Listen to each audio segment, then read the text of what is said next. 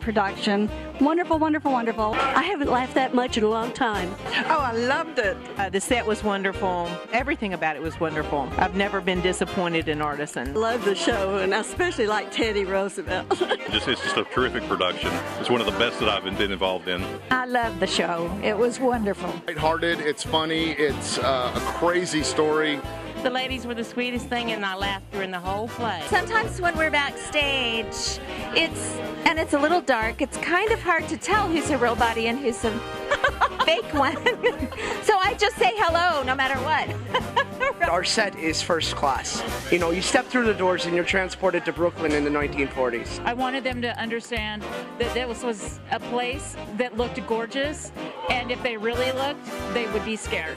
The lighting's a little bit creepy, but in kind of a campy fun way, which is what you want from Arsenic and Old Lace. If you came to the Artisan Center Theater, you would have a good time too. The best part of this show has been working with these wonderful actors.